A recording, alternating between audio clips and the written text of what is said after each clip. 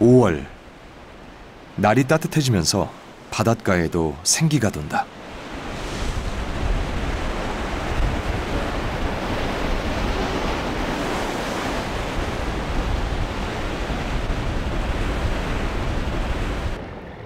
이른 아침 어선은 쪽배를 매달고 바다로 간다.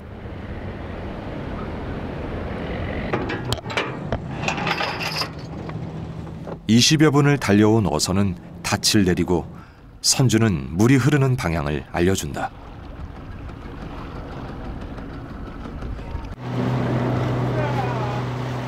물 흐름에 맞춰 그물이 내려진다. 자칫 방향이 틀리면 그물이 겹치거나 뒤엉켜 조업을 망칠 수도 있다.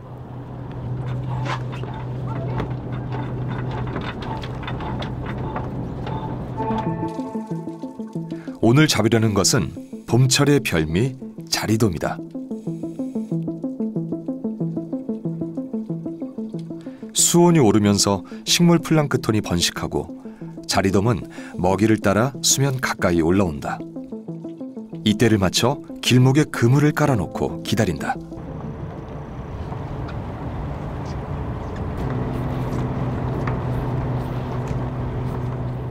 따뜻한 봄볕에 잠시 쉬려는 찰나. 어군 탐지기에 신호가 온다. 자리돔이 그물을 벗어나기 전에 빨리 당겨야 한다. 먼저 그물 가장자리를 들어올려 자리돔이 빠져나가지 못하도록 하는 게 우선이다.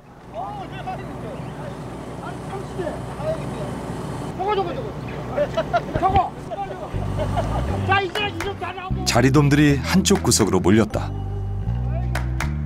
언뜻 봐도 적은 양이 아니다.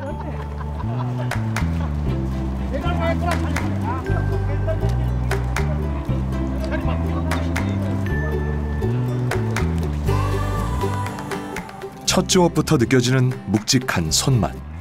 올해 자리돔 잡이가 기대된다.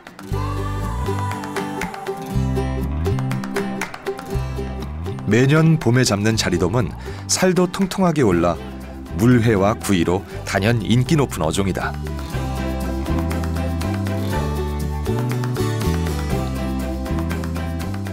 이렇듯 제철에 잡히는 물고기는 비싼 값에 팔리며 귀한 사랑을 받는다.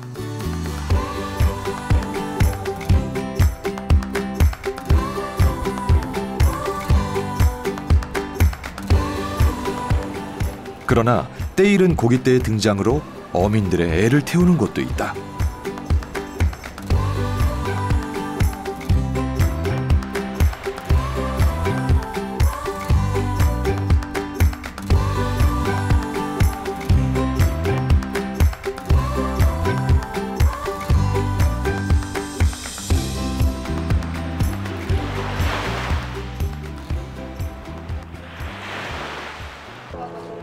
강원도 고성 앞바다. 아침 일찍 정치망 그물을 당기느라 바쁘다.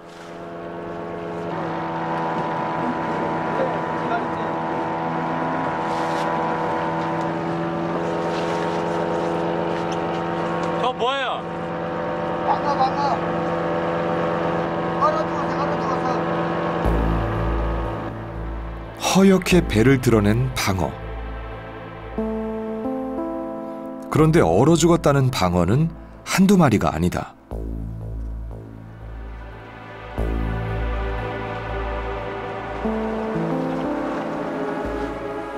그물을 당기자 죽은 방어들이 계속해서 올라온다. 이미 상품성은 없어진 방어지만 건져내야 한다.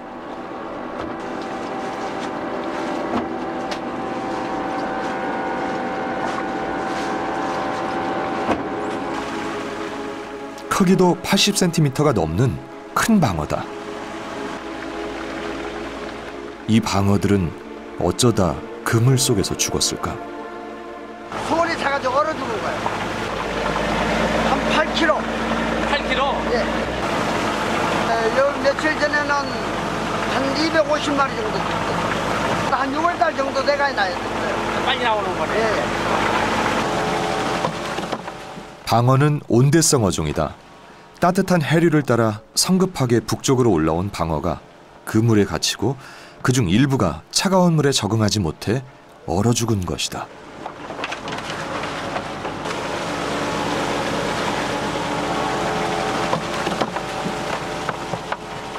지구 온난화로 수온이 오르면서 제철에 잡히던 어종들이 거의 없을 정도로 바다 환경이 변했다. 원래 6월 중순쯤 돼야지 식인데 네. 작년보다 한 한 달 반, 거의 두 달 빨리 나는. 제철보다 일찍 잡힌 방어는 크게 환영받지 못한다. 찾는 사람이 적다 보니 가두리 그물로 옮겨 보관해야 한다.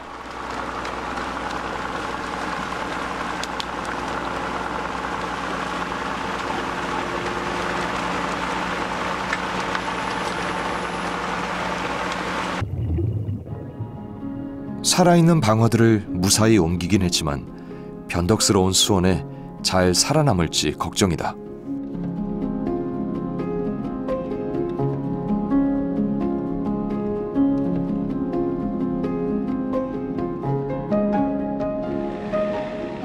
지구 온난화로 전에는 하지 않았던 고민 하나를 더 안게 되었다.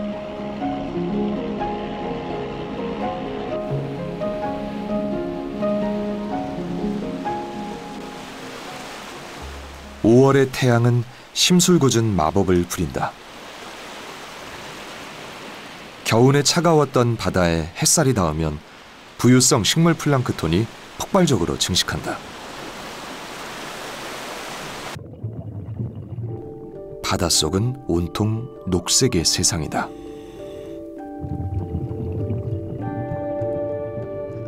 이맘때 식물 플랑크톤은 그 양이 어마어마해 바닷속은 마치 플랑크톤 수프처럼 변한다. 또한 햇빛까지 차단해 2, 3미터 앞도 안 보일 정도로 탁하다.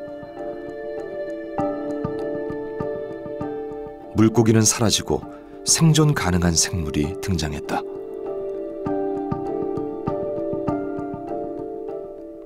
작지만 산소가 부족하고 빛이 없어도 잘 견디는 종이다. 이런 환경에서 버틸 수 있는 종은 그리 많지 않다.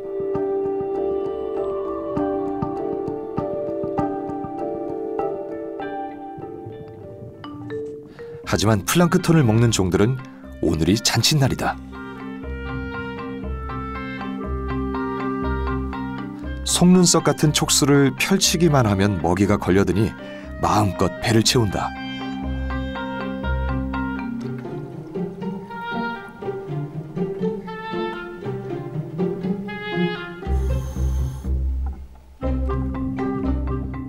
이런 기회를 놓치지 않는 종은 또 있다. 집게다.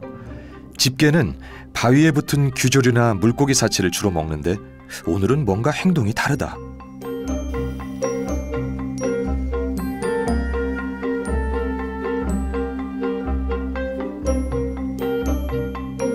앞다리에 섬세한 필터로 플랑크톤을 걸러 먹는 중이다.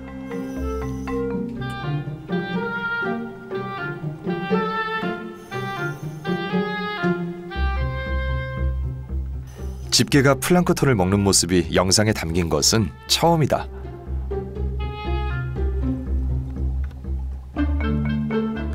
환경 변화에 바로 적응하는 집게의 먹이 습성은 극한 세상에서 살아남는 좋은 경쟁력이다.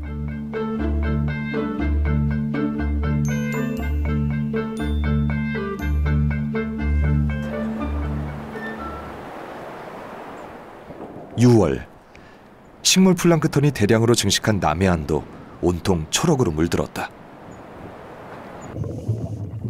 이맘때 폐류 양식장 주변에는 괴상한 생명체들이 번식한다.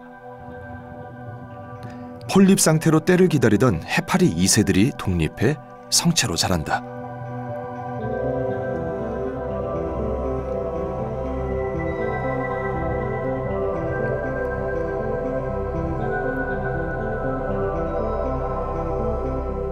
보름달 물해파리는 불과 두 달여 만에 성체로 자라는데 유영하는 모습이 신비롭게만 보인다. 그러나 그것은 한두 마리 있을 때 이야기다. 수만 마리가 한꺼번에 몰려 있는 것은 심각한 환경의 불균형으로 매우 우려스러운 징조다. 해파리는 요강류나 플랑크톤을 먹으며 물고기와는 먹이 경쟁의 관계에 있다.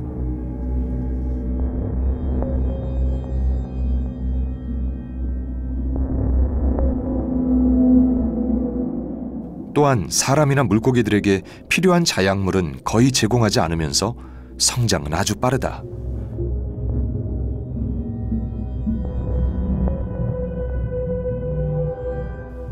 심장도 없고 뇌조차 없지만 급변하는 바다 환경에 완벽하게 적응했다.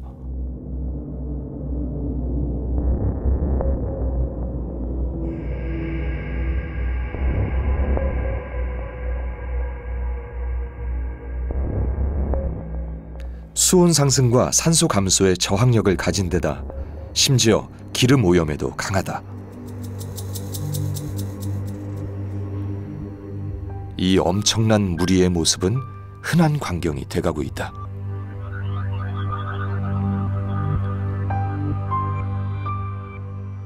보름달 물해파리가 성체로 사는 기간은 여름과 가을 6개월 정도.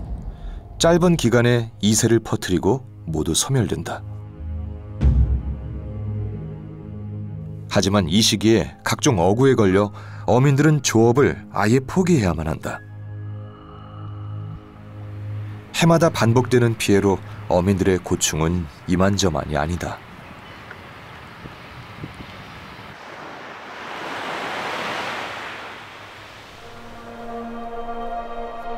일년에 한 번 보름달 무렵이면 세상 밖으로 나오는 생명들이 있다.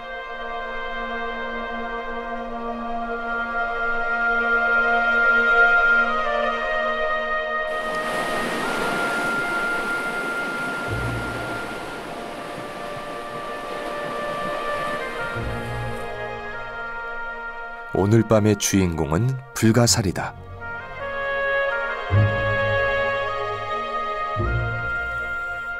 불가사리는 바위 높은 곳에 자리를 잡았다. 산란이다.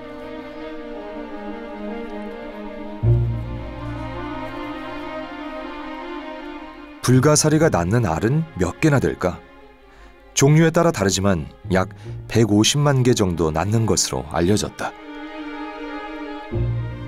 그런데 불가사리는 왜 물살이 강한 시기에 그것도 밤에 산란할까? 알을 먹는 물고기들이 잠들면 그만큼 생존율을 높일 수 있고 물살에 알을 더 멀리 보낼 수 있기 때문이다.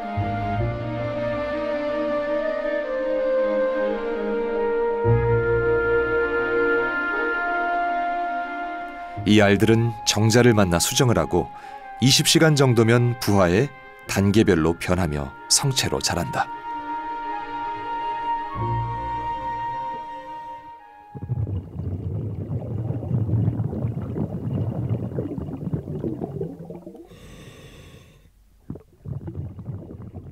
불가사리는 종류에 따라 모양과 색깔은 다르지만 모두 조용한 동물이다.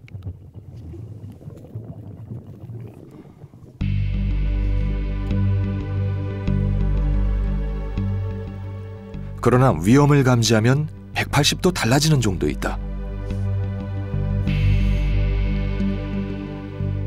걸음아 나 살려라 도망치다. 그것도 여의치 않으면 모래 속으로 파고든다.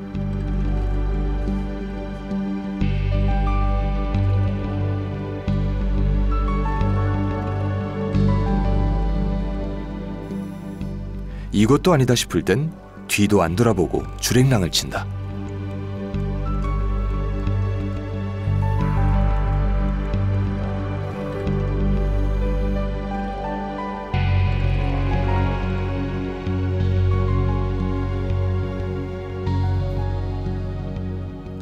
불가사리의 천적은 무엇일까?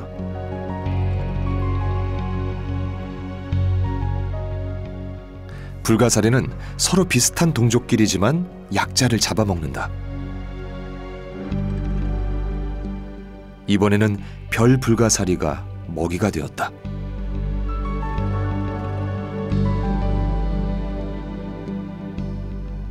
불가사리마다 잡아먹는 동족은 서로 다르다.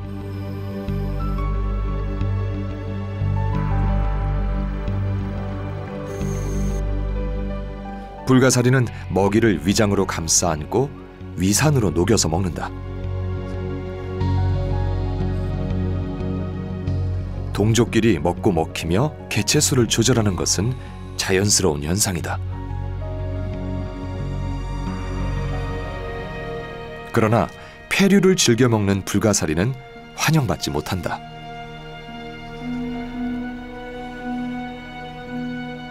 잔뜩 웅크린 자세는 뭔가를 잡고 있다는 증거다.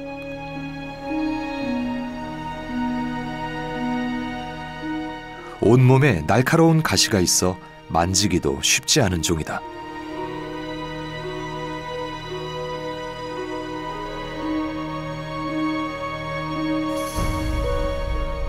예상대로 녀석이 잡은 건 고둥. 그것도 두 마리를 한꺼번에 포식 중이다.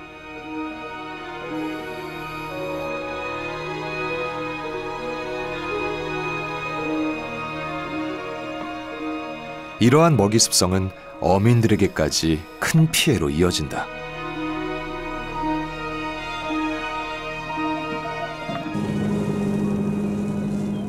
이곳은 가리비 양식장이다. 어민들이 준비한 것은 새로운 양식 방법이다. 가리비를 바다에 뿌려놓고 자연 상태에서 키우려는 것이다.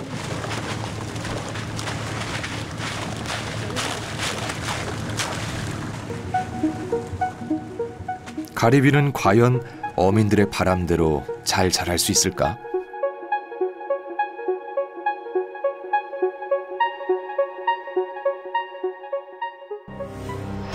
제일 먼저 반응을 보인 것은 불가사리. 기다렸다는 듯 재빨리 가리비 몇 마리를 감싼다.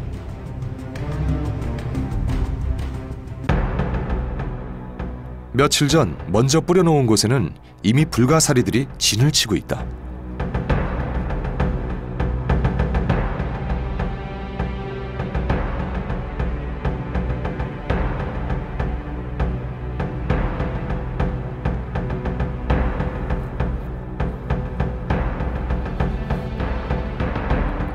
불가사리들은 그동안 얼마나 많이 먹었는지 하나같이 살이 통통하게 쪘다.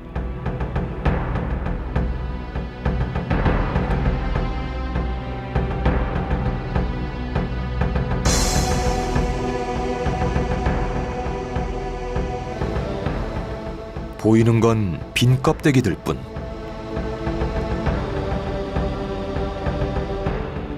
불가사리에게 점령당한 양식장. 가리비들은 일부라도 살아남을 수 있을까?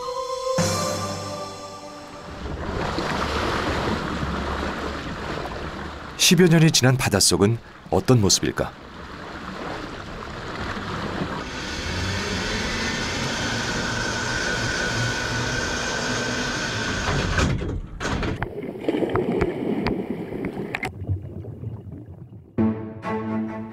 모래바닥에는 아무것도 없다.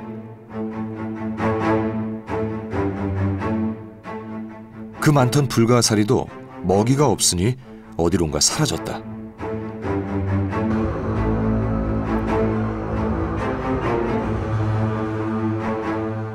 주변에 쌓인 건 가리비 빈 껍데기들 뿐. 이곳이 양식장이었음을 짐작해 한다.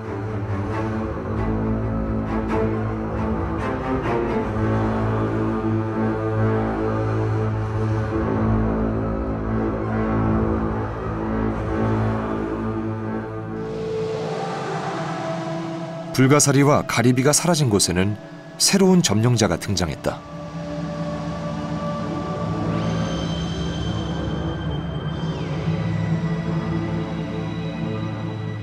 유럽과 지중해가 원산지인 진주 담치다. 진주 담치는 화물선에 붙어오거나 유생들이 퍼져 우리 바다에는 오래전부터 정착한 종이다. 식용이 가능하지만 양식장에서는 반갑지 않은 애물단지다.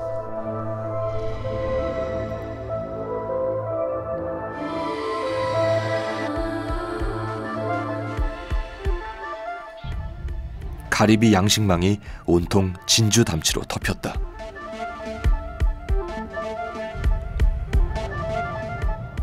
한 번 붙으면 떨어지질 않으니 양식망 전체를 버려야 한다. 어민들에겐 골칫거리다.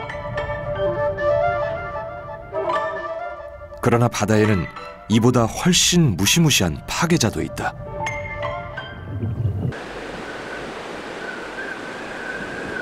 해마다 여름이면 한반도 바다는 강력한 에너지로 들썩인다. 태풍이다. 태풍은 지구상의 그 어떤 것과 비교할 수 없을 만큼 강한 힘을 가졌다. 지구 온난화로 태풍의 세력은 더 강해지고 발생 빈도 역시 많아졌다.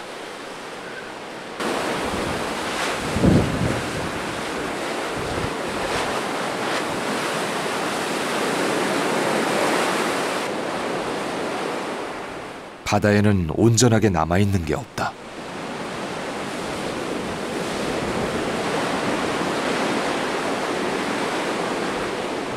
사람들이 애써 만든 방파제도 한순간에 무용지물이 되고 만다.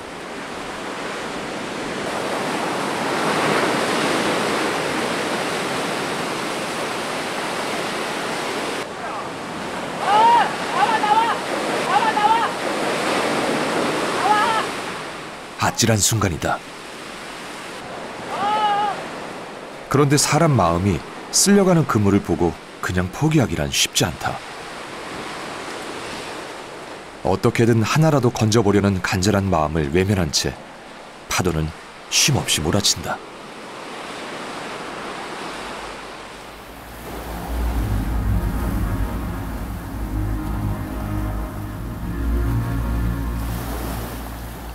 태풍은 해안가 곳곳에 엄청난 피해를 남기고서야 잦아들었다. 그러나 태풍이 지나갔다고 해서 바다가 평온해진 건 아니다.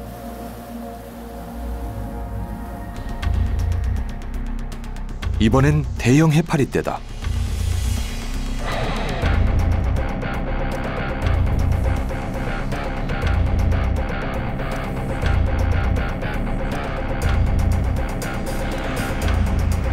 동중국해에서 탄생한 노무라 입깃 해파리는 해류에 편승해 해마다 우리 바다 전역으로 퍼진다.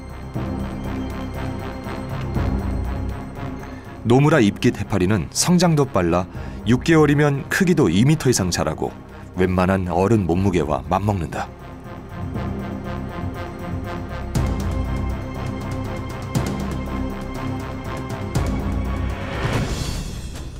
해파리 떼가 걸려든 곳은 어민들이 쳐놓은 대형 정치망 그물.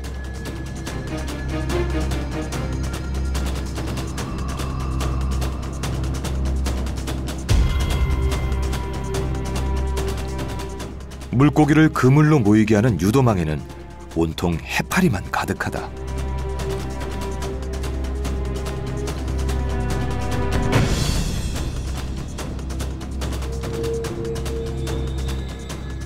어민들에겐 재앙이다. 노무라 입깃 해파리는 덩치도 크지만 촉수에 무서운 독침이 있어 마음대로 처리할 방법도 없다.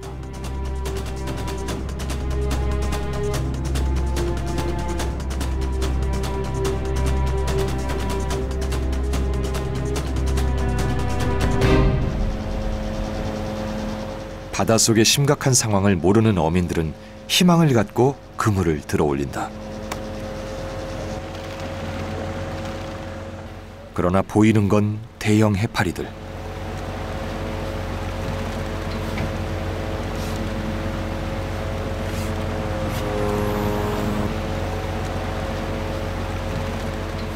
물고기가 갇히는 그물을 열어보는데 이곳은 어떨까?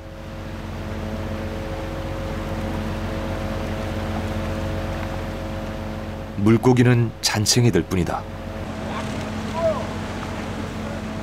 오늘 조업은 틀렸다. 문제는 이 해파리들을 제거하는 것. 어쩔 수 없이 바다로 다시 내보낸다.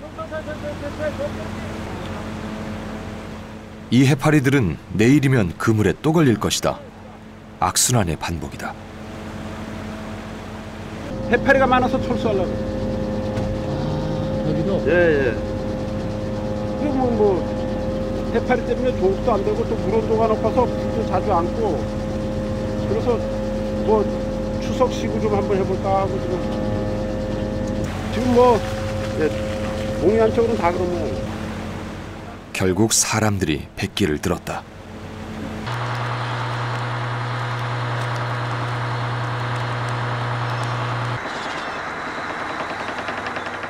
노무라 입깃 해파리는 어느 한 지역의 문제가 아니다. 매년 해파리는 더 많아지고 어민들은 처치하느라 전쟁을 치르고 있다. 대책 없는 전쟁이다.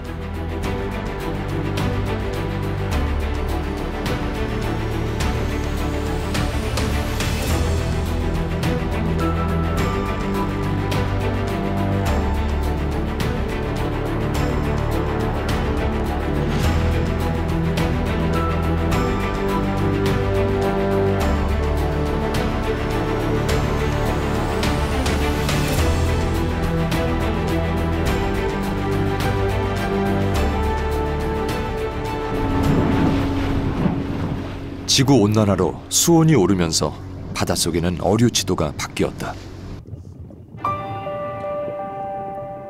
언제부터인가 제주도 바다에 있던 자리돔이 동해에서 활개를 친다.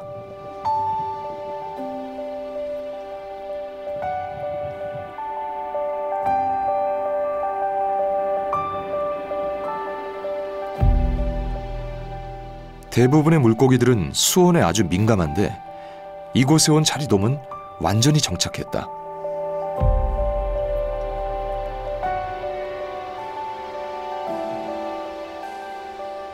암수는 산란에 바쁘다. 수컷이 자리를 정해주면 암컷은 산란관을 통해 바위에 알을 붙인다.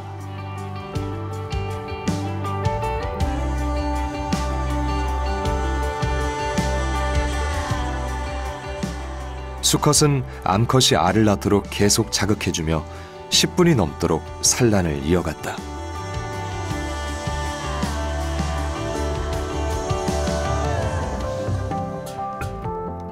자리돔의 알들이 빼곡히 사랑의 징표로 남았다. 동해에서 자리돔의 산란 모습이 담긴 것은 처음이다. 수온에 민감한 자리돔이 동해에서 산란한다는 것은 이미 바다의 환경이 바뀌었음을 말해준다.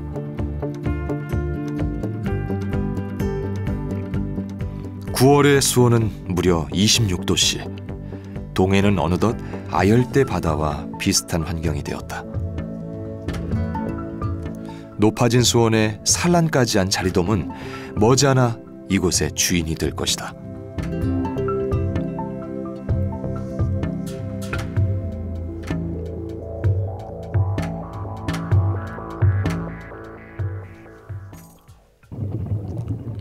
연구에 의하면 동해안 수온은 1980년대 초반보다 무려 2도 높아진 것으로 관측되었다.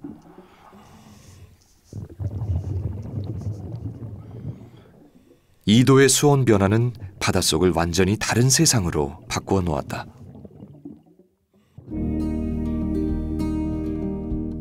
제주도 바다에서나 볼 수 있었던 청줄돔은 1년 내내 동해에 서식하는 종이 되었다.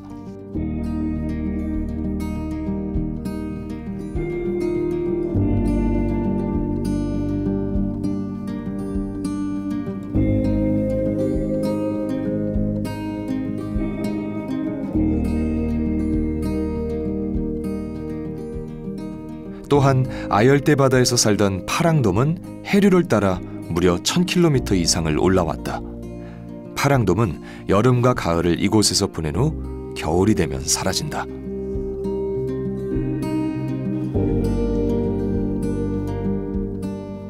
수온이 계속 오른다면 파랑돔도 머지않아 동해의 식구가 될 것이다.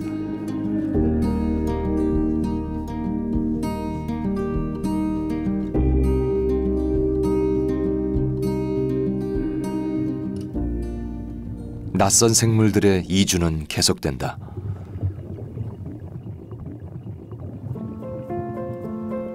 개멍개류는 남해에서 떼지어 살고 있는 종이다.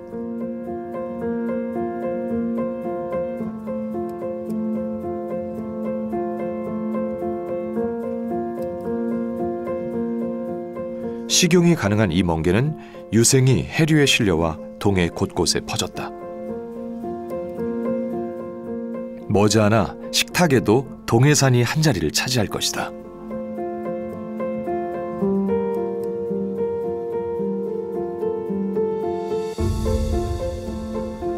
새로 정착한 이주자는 또 있다.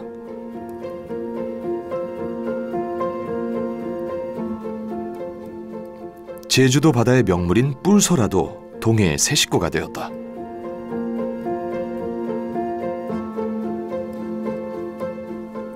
이곳 환경에 완벽히 적응한 뿔소라는 최근 그 수가 급격히 늘어나며 바다 생태계의 한 자리를 차지했다.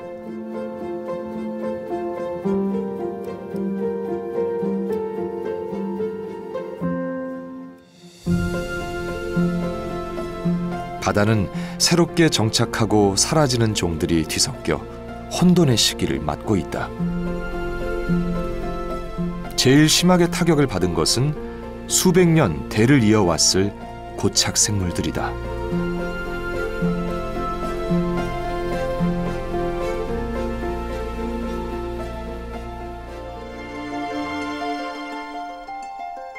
불과 10여 년 전만 해도 안반을 모두 점령했던 멍게는 지금 쇠락의 위기를 맞았다.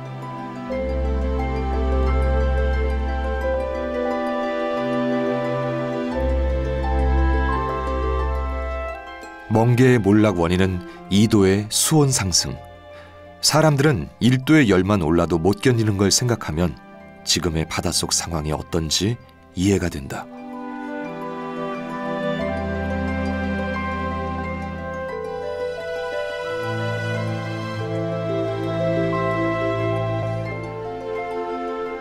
남아있는 것은 어쩌다 한두 개 보일 뿐.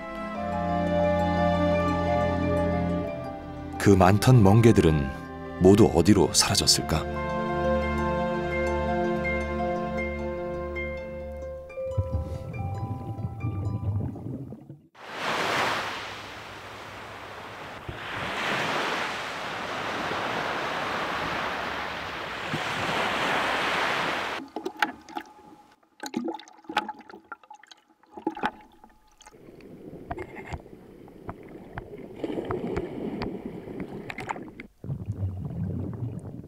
강원도 고성 앞바다. 이곳은 차가운 북한 해류의 영향을 많이 받는 곳이다. 붉은 멍게는 차가운 수온에서만 사는 종으로 안반에 붙어 사는 고착 생물이다.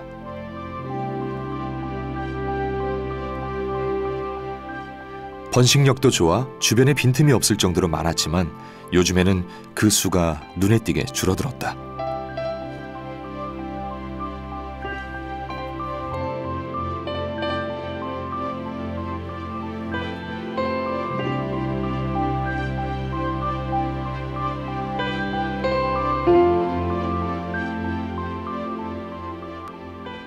붉은 멍게가 가득했던 안반은 속살을 드러낸 지 오래다. 이곳 역시 지구 온난화로 수온이 오르면서 붉은 멍게들이 살기에는 너무 따뜻한 바다가 되었다.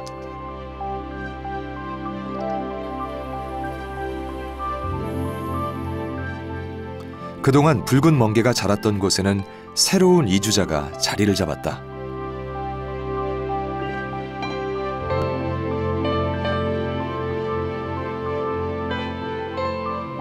남쪽 바다의 멍게는 사라지고 그 후손들이 멀리 200km를 북상해 강원도 고성 바다에 정착했다.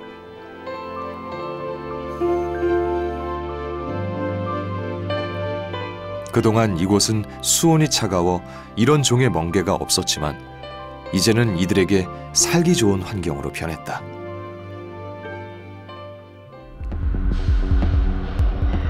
수온 상승을 견디지 못하고 폐사한 종들도 있다.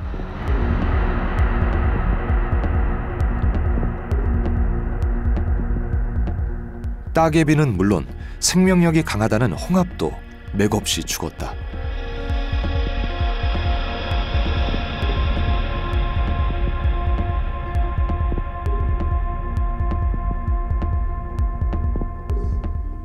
수온 2도 상승이 몰고 온 무서운 결과다.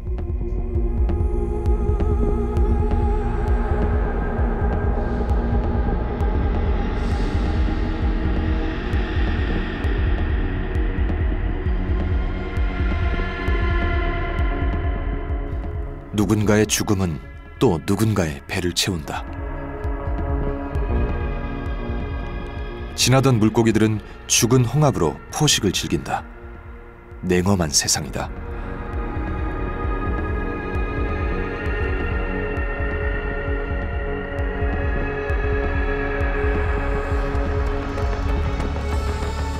바다는 한 생명이 죽은 빈자리를 결코 오래 비워두지 않는다.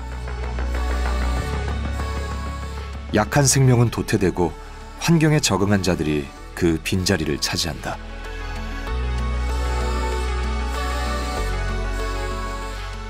여기서는 먼저 잡고 먼저 먹어야 살아남는다.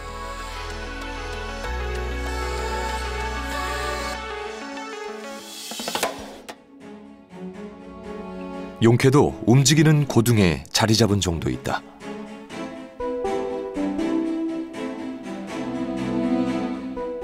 작은 따개비들이다. 고둥이 알아서 이곳저곳 다니니 여행하며 배를 채우면 된다. 운 좋은 녀석들이다.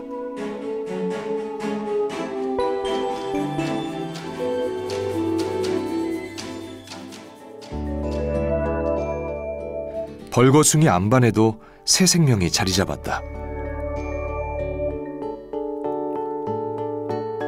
안반을 온통 꽃송이로 장식한 것은 무스뿌리 돌산호.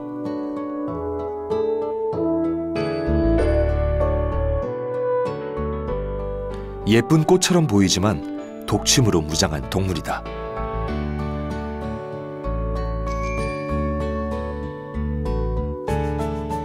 플랑크톤이 독침에 닿는 순간 바로 마비되어 먹이가 된다.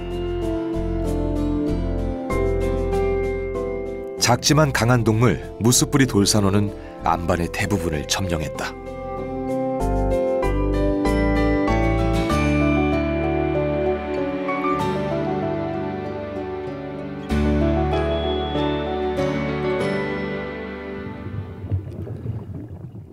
(10월) 중순 차가운 북한 해류의 영향이 점점 강해지는 시기다.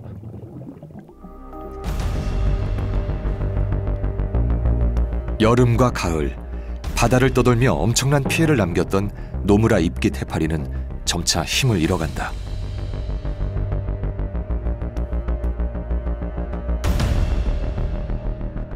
해파리를 방패 삼아 안전하게 생활하던 새돔들은 이제 새로운 안식처를 찾아야만 한다.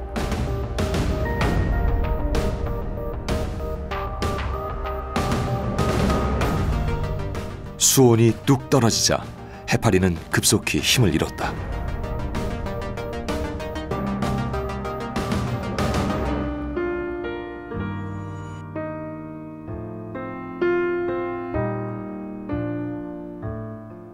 해파리 독에 면역이 있는 새돔은 끝까지 주변을 맴돌아 보지만 더 이상은 보호받지 못한다.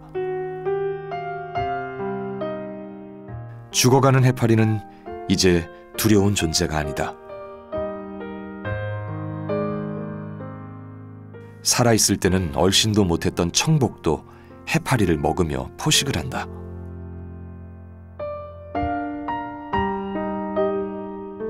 바닷속 세상엔 영원한 강자는 없다. 생을 다한 해파리는 자연으로 돌아간다. 하지만 바다의 점령자들은 내년에도 수를 늘리고 더 강해져 바다를 계속 지배할 것이다. 바다의 신음이 깊어지는 이유다.